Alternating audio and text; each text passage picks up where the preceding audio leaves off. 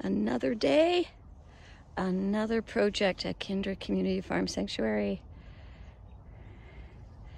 So this area has been the winter paddock for the horses and it has been a muddy mess and then a frozen mess. Lots of flooding. We got this wonderful shelter built. And so we're gonna get this area uh, dredged tomorrow. We're gonna get a drainage pipe put in, covered with large rock, and then this area graveled.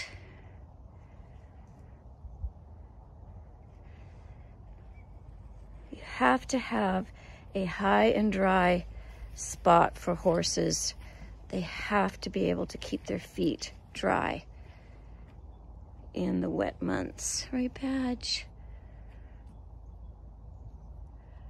So it might get done tomorrow. Today is Monday. Monday, February 19th. Uh, it's weather dependent because if it's raining, we don't have a spot to put the horses for them to be out of the rain. So keep your fingers crossed that it's going to be dry tomorrow. And we can get this done for you, Badge.